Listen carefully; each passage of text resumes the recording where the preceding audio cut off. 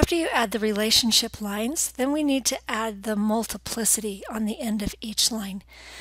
So multiplicity identifies quantity, uh, how they're related in a numeric way, and there are four multiplicities to consider. We can add multiplicities, multiplicities with just a regular text box, so double click anywhere and you get one. There's 0 dot dot 1, which represents 0 or 1. There's 1 dot dot 1, which represents exactly 1. There's 0 dot dot many, which represents 0 to many. And there's 1 dot dot many, which represents 1 to many. So an actor is one of many in the actor list. And how are they related? An actor is related to only one actor list because there is only one. And we would never have an actor that without having an actor list to store them in. So it would be this one dot dot many.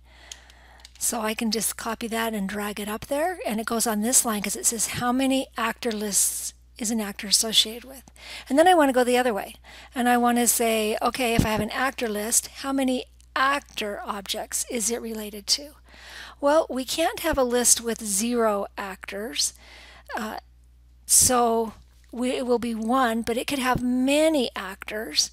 So we could have zero dot dot many. I mean one dot dot many. So an actor list has one to many actor in it. And that's how we identify what they are. So let's look at actor and movie info. We know that an actor might be associated with more than one movie, right? They might be in Bambi and Shrek. So we know it's going to be one of the many options and we have to decide is it one to many or zero to many.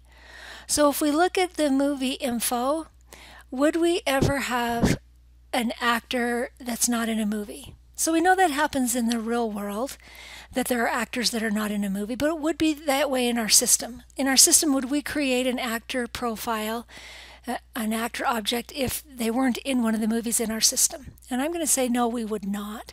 So anytime we have an actor, they would be actually there would be an, at least one movie that's associated, but they may be in more.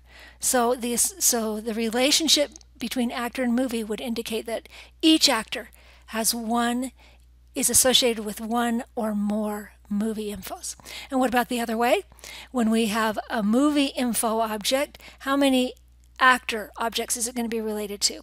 Well, this also will be many. We may, lots of movies have multiple actors in them. And now we just need to decide it would be zero to many or one to many. And here, is there a possibility of having a movie without an actor? So would there be an animated film that didn't have actors, that was completely produced uh, electronically and didn't have any actors at all? And let's go ahead and keep open that option. So I'm going to say that every movie info is associated with zero or many, zero or more actors. And that's what you do. You put on all the aggregation and association lines, you put a multiplicity on each end. Here, in a generalization relationship, there is no multiplicity required on either end. So this relationship indicates that every time there is a DVD object, it is a movie item object. And so the relationship there doesn't need to be defined with multiplicity.